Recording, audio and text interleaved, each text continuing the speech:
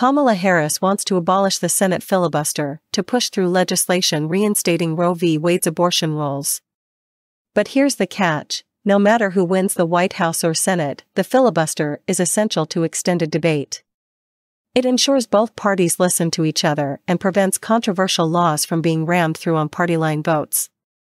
The Senate's purpose is to slow legislation, encouraging compromise and protecting states' interests. Both parties have used the filibuster when they needed it.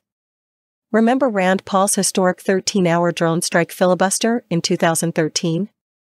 Or Senator Chris Murphy's stand on gun control?